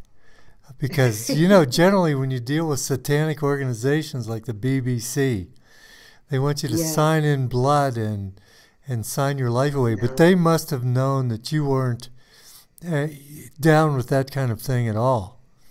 No, and I didn't even know that this was going on. I mean, I was just thinking my brother, my work, my team, my children, family, my friends. You know, I wasn't thinking. I mean, that was the last thing from my mind. It really was, honestly. And so I got to the meeting, even though I thought Hannah was, you know, a, a bit, there was something about him because he was ringing me with like an obsession. I thought this guy's like he's obsessed, you know. Yeah. And so when I got there, he was like trying to grab the documents off me, you know, type thing. And I said, you know, I made them sign first. But actually, it was Helen Alexander who was in the meeting. She actually took the, the documents in the end. But anyway, she stole them in the end. But anyway, um, they were all together, so they all stole them. It was all a conspiracy from start to finish. And um, so we arrive at this place. Lisa and I are looking at each other, and you know, there's this man who's grabaliciously, you know, trying to, you know, like, give me them, you know, kind of. Yeah. And uh, so I'm looking. I'm like, what is going on here? What is this place? And he said that they'd they'd loaned money from the Japanese, and to do this NTL digital or ITV digital or whatever. It was this whole thing they had going on, and it turned out to be a disaster. Everybody lost their money, and uh, you know they were bidding to do all the sports programs, so boxing, get all the contracts for boxing, airing. I mean, airing the broadcasting of football, the big football matches, you know, World Cup, um, tennis, and you know, like everything to do with sports. That's what the thing had been set up for. And I had created a new genre, which was to do with health and fitness. And I walked in with my new concept, and it was like ding, ding, ding, ding, ding, ding, ding. Oh my God, this is the one that's going to revive the whole thing. And of course it did. You know, um, this Helen Alexander, she was there talking about how she acquired Ginger Productions of Chris Evans. This Chris Evans was a TV personality. He's a gingerhead guy, and he was in the um, entertainment industry, quite young, successful, like considered a media mogul. And he had his company, which he formed called Ginger Productions, and she also had acquired Virgin at the time. So um, Helen Alexander moved from BBC. She went to Scottish media groups. They're now called Scottish TV. Um, because most of the companies have tried to change their name or change their names in order to hide the, um, you know, the proceeds of crime. Yeah. Um, so this is something they do. They change. They change their own identities, even you know, to, in order to evade liability. Um, they'll do anything. They'll kill people. They do. That's that's really That's that's really common. It's really common Yes. for people to change their names. Uh, yeah, the Rockefellers used to be the Rodden Felders or something like that. You know, Satan has a million names, so yeah, they're absolutely. they're really Yeah, into that kind of thing. Yeah, Yeah.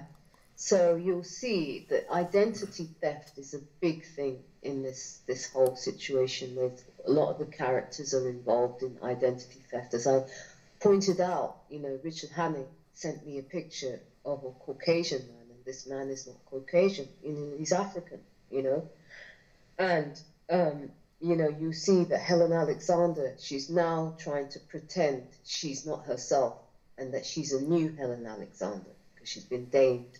And in fact, you can see the ceremony on BBC T, BBC. If you go on there, you'll see the ceremony and her walking in robes like the Queen of Satan.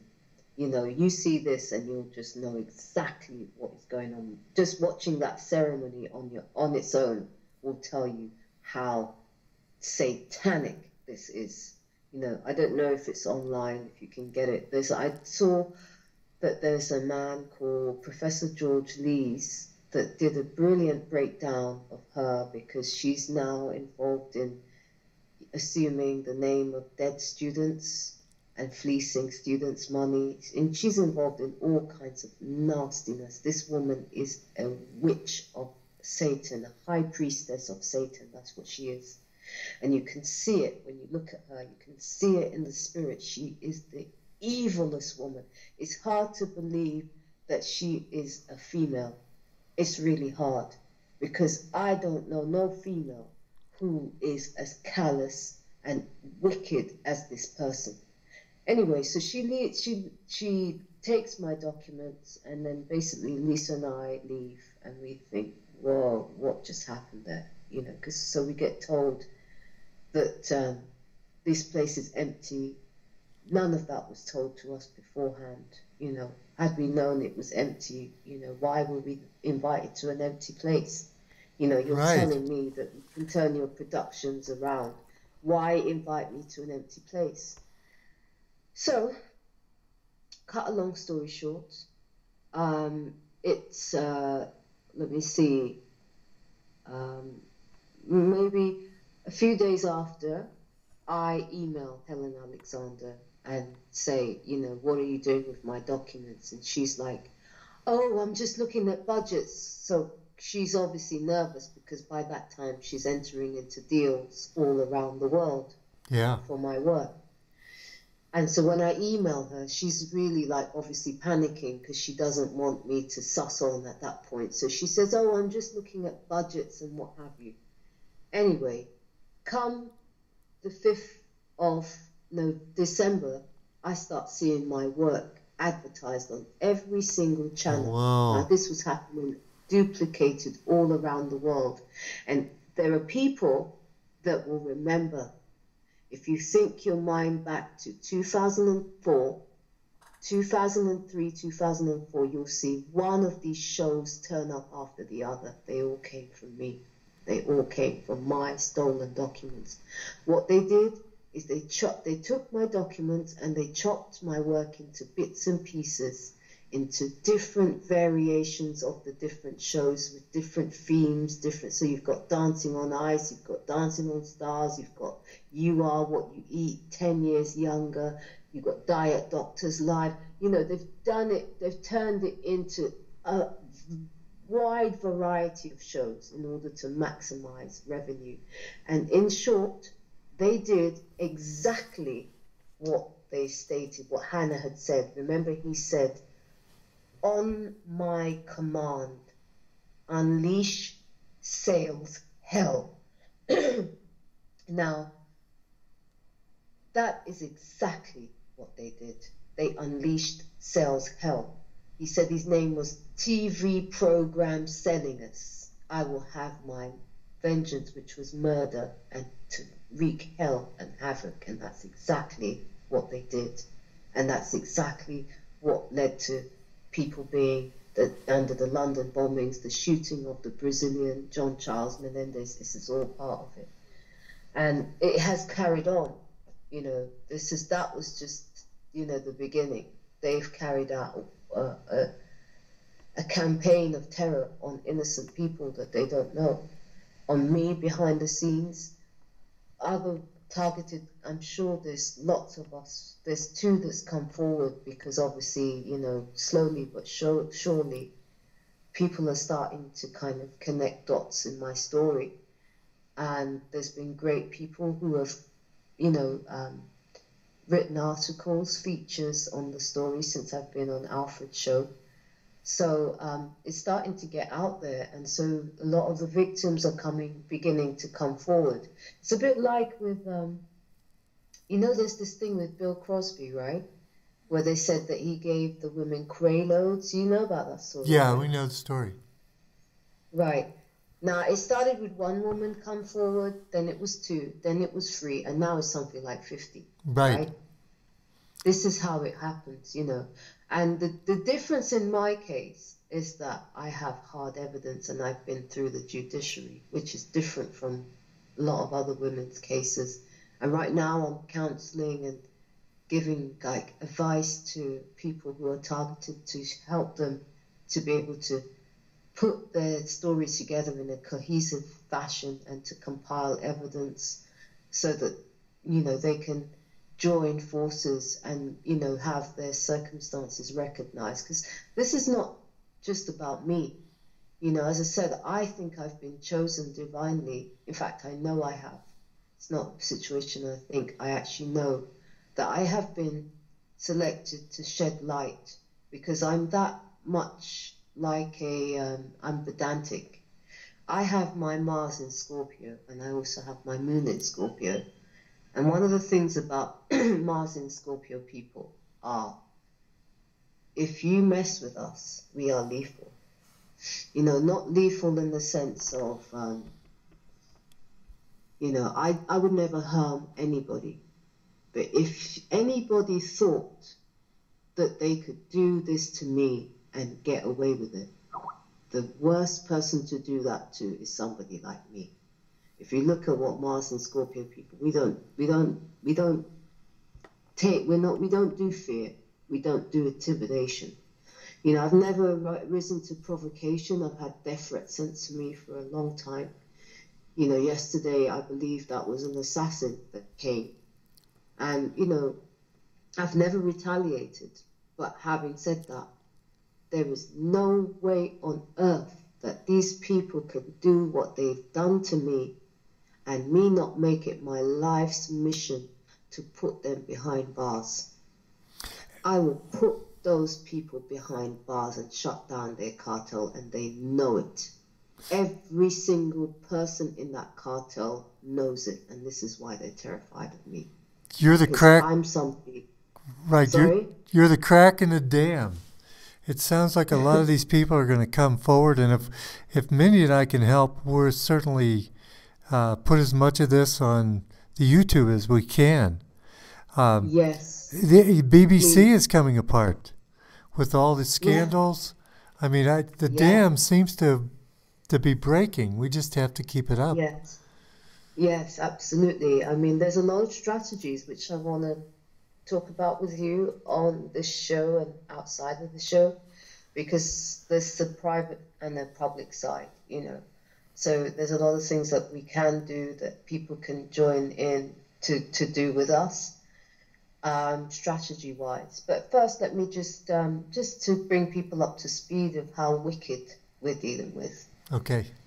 Um, now, like I said, I left the meeting and uh, then saw that my work was being rolled out on all these different channels. So I immediately called the lawyers, and every time I call, I get, I'm sorry, he's busy at the moment. Can you call back again, please?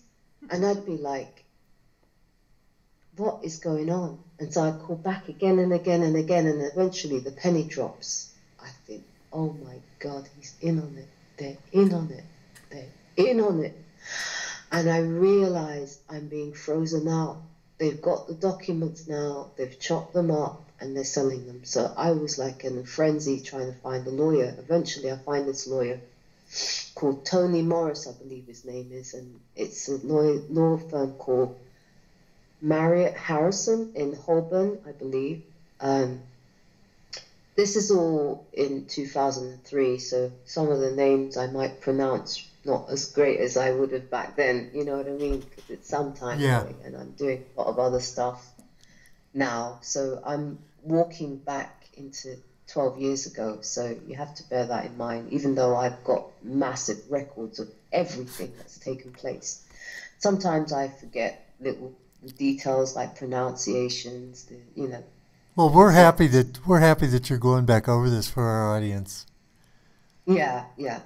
So you know, and a lot of it, I try. I, you know, to get on with today, I have to sort of, you know, shut the door sometimes on these things just to be able to process and put one foot in front of the other because it's it's painful as well. You know, to be treated in the way that I was treated or have been treated is is bar, barbaric to say the least. Sure. So, you know, as much as I can, you know, I try to forget, if, if you like, on purpose. But because of the the journey has continued, even though I won my case in 2000. And I had default judgment in 2004 straight away, and then I had um, went to court in 2006. It should have been 2005, but we know what happened then. But I'll, I'll, I'll tell you what exactly happened.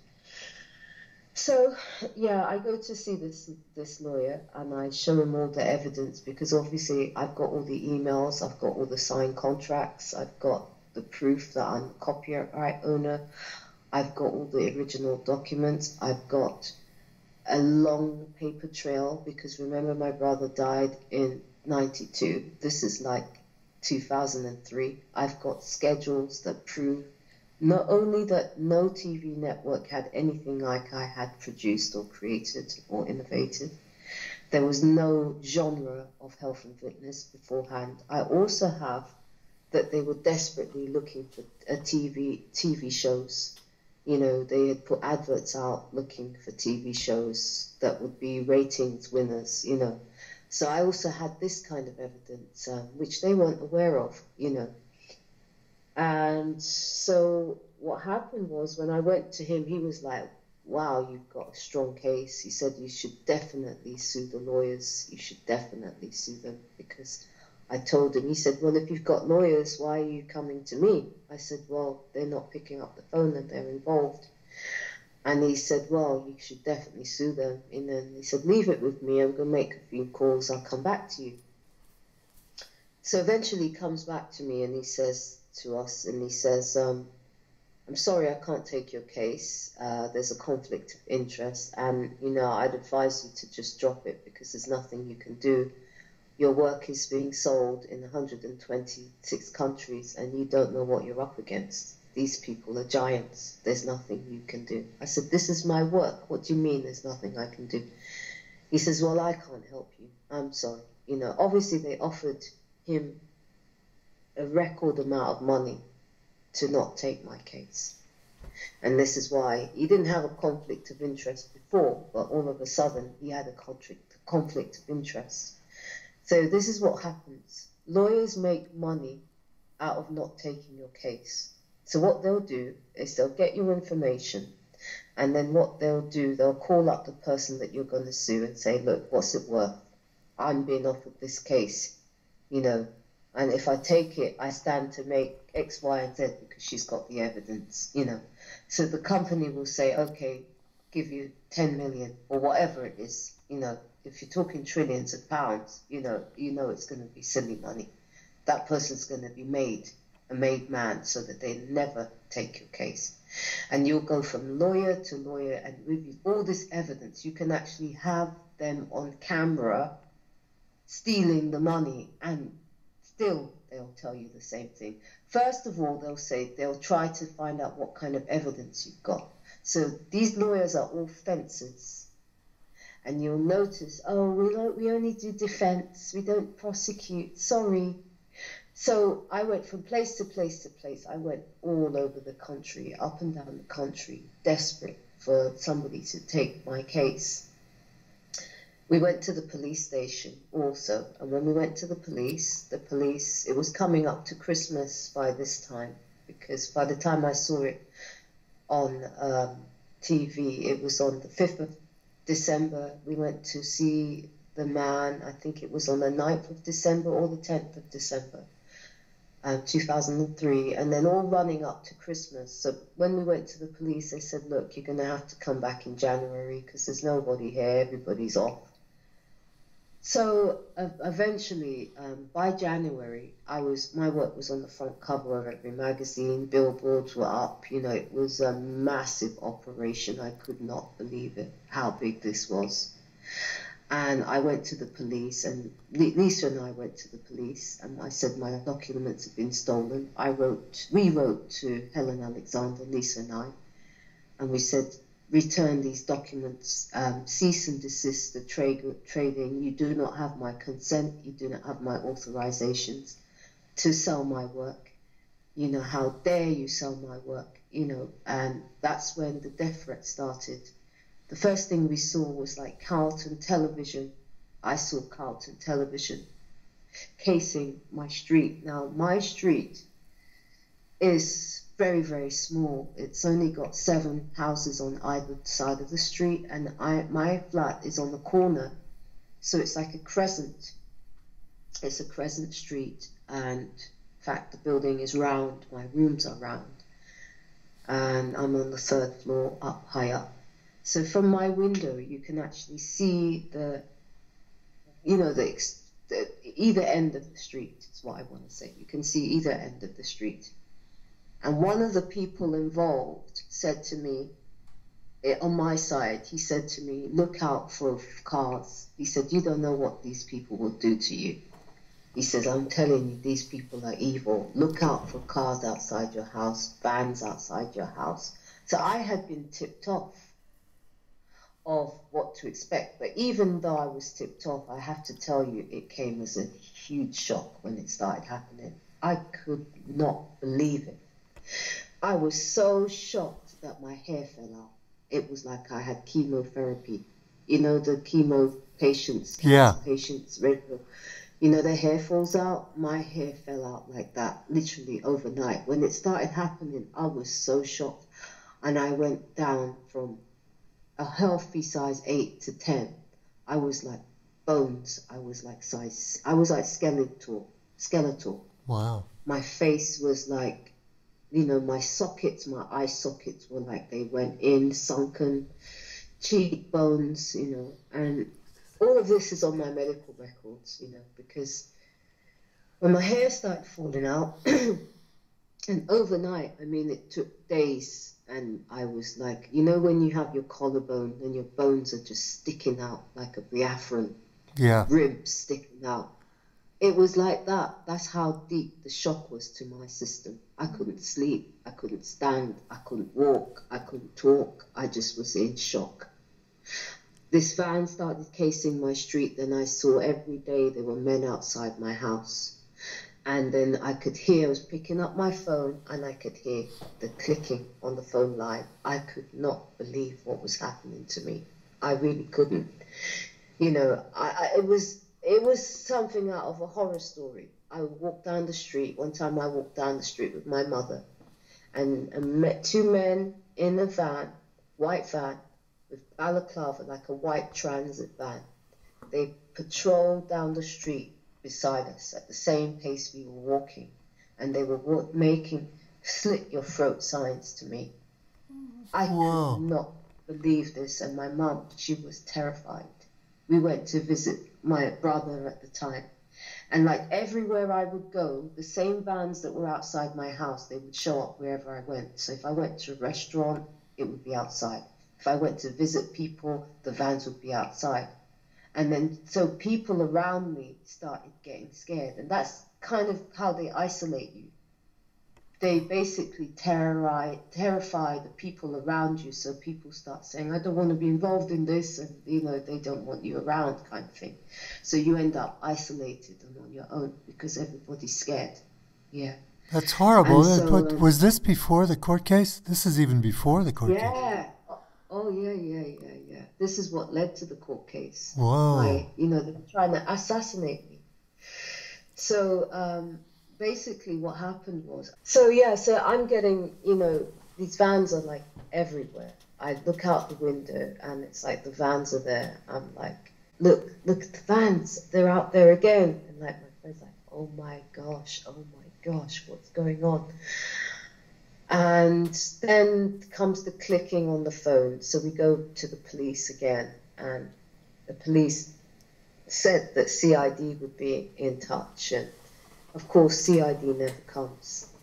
I, I discover later on that they've paid the police to, um, they've paid the officer that was in charge to actually make sure that the investigations went ahead was called Sergeant Stallard and uh, of Paddington Green Police Station. And this man was evil. He was paid to allow it to continue, basically. And so um, and then even he tried to threaten me, you know, and I reported him. Because this is what they do. They use, I'm very detailed, you know, that's one thing about me. In a way, that's what's helped me because I remember all di- different details about these things. And it's so you know, sad so you have to so relive many... it over and over and over again, but. Well, she's living it now. Yeah. I mean, even yesterday. Yeah. Yeah, that's why I wanted to start that way because a lot of people think this happened to me in 2003. You know, if you're targeted, you're targeted for the rest of your life until you fight them. Yeah. You have to fight them, otherwise, they'll murder you. That's just the long and short of it. They will murder you. If you look at the list 80 page list that Rianetta put together, who's the targeted inventor of the iPod and the Kindle. She wonderfully put this list of all the people murdered for their work, and it's 80 pages long, and each page has got God knows how many. Yeah. You've put it up, Mindy, haven't you? Yes, so that people can look at it. You know, because this is no joke. You know, people there aren't as many people as they should be talking simply because a lot of the people are dead. Right. That's the reality of it. Yeah. And those who are not dead are terrified, you know, and you know, now they're getting the strength, you know, it starts slowly. It's like with the Bill Crosby thing. You know, the women said, you know, like, why didn't you come forward for so many years? You know, they were scared because sure. you have no idea what these people will do. You know, I mean, I, I can't testify to what he did and he didn't do. But what I can say is that it runs the same in this industry because it's the entertainment industry. And these people think they have a license to terrorize, they have a license to murder. Look how many young stars died in mysterious circumstances. Right. Do you think that's not. a coincidence? No. You know, you look at the entertainment from, from Michael Jackson, Whitney Houston, now her daughter, all these different people, they just died. Look at Sam Cooke, he got killed for his copyrights. This is common. Anybody who tells you that it's like, oh, I'm some sort of fantasist, you've got to start looking at that person that there's a strong indication that maybe that's an agent because they send their agents out to try to disinfo to try to make it look like I am some I've got some sort of agenda or I've got some sort listen this is survival if I don't speak they will get away with one of the worst crimes of humanity this is one of the worst atrocities because this is not a one-off thing this is happening again and again and it's been like this for decades decades that this has been going on, and nobody's challenging these people. So they just are comfortable. They think they've got a right, a divine right to do what they do to us. And they haven't. I'm here to remind them that they haven't. And I'm here to remind them that you're going to prison. You are going to a padded cell. Anybody who's doing this to people, you're going to go down. And I'm making sure of it. It's the last thing I do with my life I will make sure that these people go down. And that's how I feel. I don't have no forgiveness for them. They don't have no forgiveness for no mercy for none of us. They do it with joy and and and you know they love it. They do it with with zeal. They gloat about killing people. I'm sorry, I don't have no forgiveness for these people whatsoever. Forgiveness means you have to acknowledge what you do to other people so that you can ask for mercy. Right? That's how it works. When the person who's been wronged looks at you and sees, wow, this pe- person actually acknowledges what they've done to another human being and why it's wrong, that's when you can forgive. But when people just go around saying that they forgive, they forgive, they're encouraging other people to be murdered. This is the seriousness of it. You know, you don't take, you don't make flippant remarks with people like this. They see it as a license. Oh, they forgive us. we can go around and kill some more. Nice right. one. That's how they interpret that. Right. They have to stop. Yeah, they have to. to get forgiveness, I think you have to stop what you're doing, and then ask for forgiveness. But the, they're not. They're not. There's no intention of them stopping. No intention whatsoever. And this is the reason why there has to be such a thing as punishment. You have to, you have to put people in check by the law.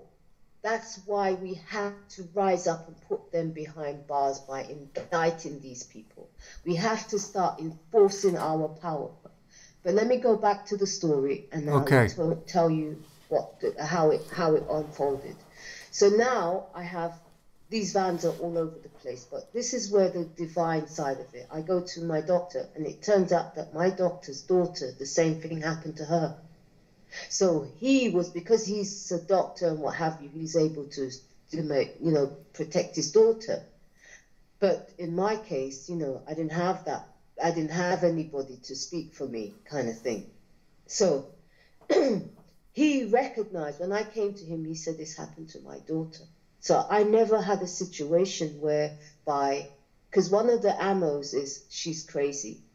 Right. She's a fantasist. They always they do things so that when you speak about what's actually taking place, you will be looked upon by people as you're mad. Yeah, that's my phones are being tapped. That's you're mad. Ah, you, you think you're in a movie, don't you? and meanwhile, they're actually doing this. You know, this is the kind of psychopaths that you're dealing with.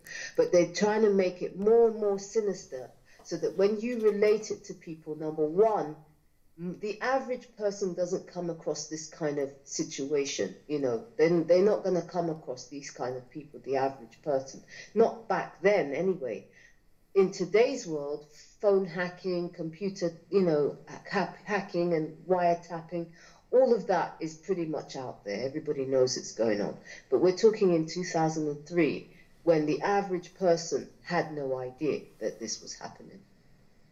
So, you know, they use that to what they believe is their advantage. So they go to town doing that type of thing. So they'll start making TV shows about it. So then I start, there's, you know, basically there's all of a sudden emerges a, a female with my name. Charlie Seven, and they've launched her for a pop band. Because what they want to do is to make sure that you don't rise anywhere. So obviously they realize she's a musician, and you know she she could rise that way. So look, what we'll do is we'll give somebody else a name. So you know we circumvent her there. So all of a sudden there's a gig going on and this is what Charlie Seven. So people go to the gig and they actually think it's going to be me, and they see a blonde girl there. They're like, "You are kidding? Who's she?"